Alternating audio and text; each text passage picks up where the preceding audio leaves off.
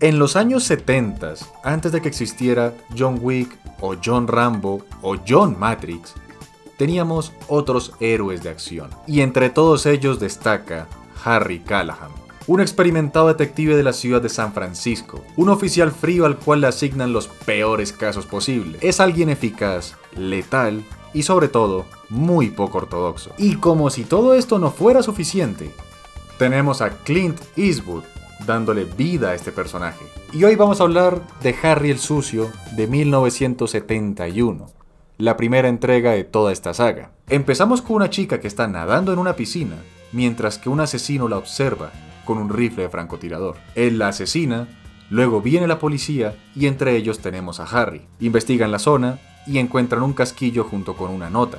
Resulta que este asesino se hace llamar Scorpio. Le exige a la ciudad y a la policía que le paguen 100 mil dólares o va a matar a una persona diariamente. Por lo que Harry se pone manos a la obra y empieza a investigar y a darle caza a este asesino. Y tengo que mencionar que uno de los grandes atractivos de este personaje es su actitud. Es alguien a quien solamente le interesa la justicia y que las cosas se hagan bien. Todo lo demás le chupa un huevo. Oh, verá, desde hace 45 minutos he estado sentado en la antesala como un imbécil esperándolo.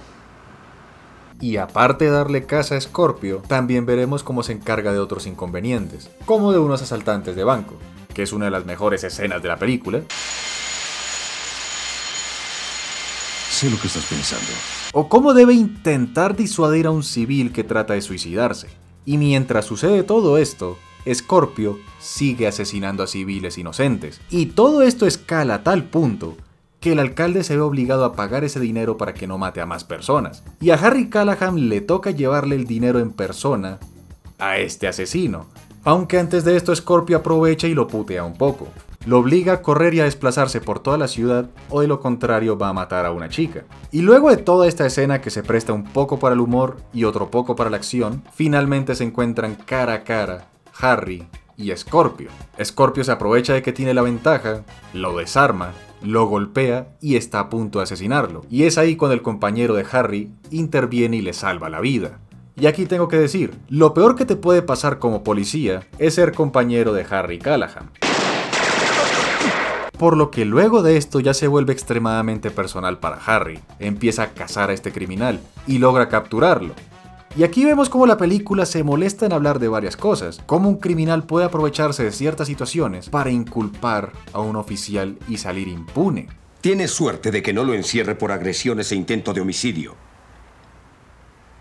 Un criminal que ha asesinado personas, que ha extorsionado a toda la ciudad y aún así es capaz de salir sin muchos problemas. Y luego Harry se ve obligado a estar al margen de la ley para atrapar y eliminar a este criminal.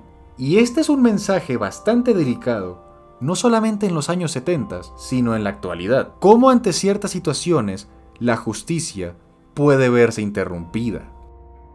Tengo que decir que me encanta el personaje de Harry Callahan.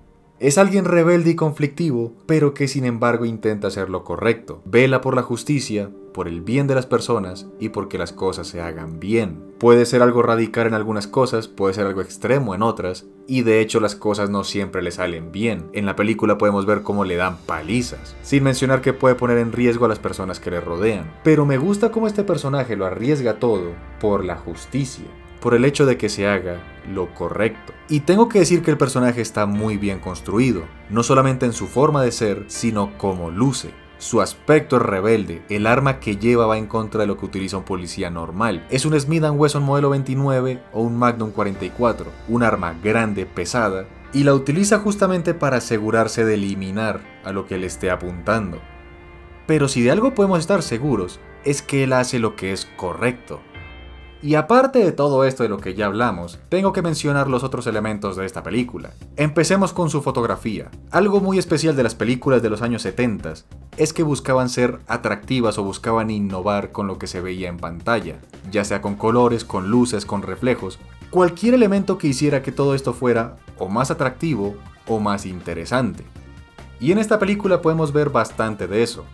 Tenemos secuencias muy oscuras pero que saben usar la luz y el color, tenemos subjetivas, o tenemos algunos planos que describen perfectamente tanto al personaje como la situación. Luego tenemos la música. Puede que peque un poco de que sea muy cliché de los 70s, pero en ocasiones sabe crear una atmósfera o sabe tener ciertas melodías que te quedas con ellas.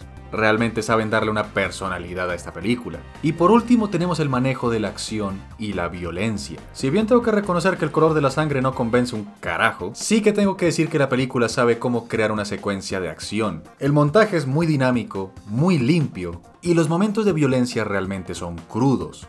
Es una película en donde cualquiera puede morir y en donde todas las muertes son frías y son sucias. Así que realmente es una película que recomiendo mucho.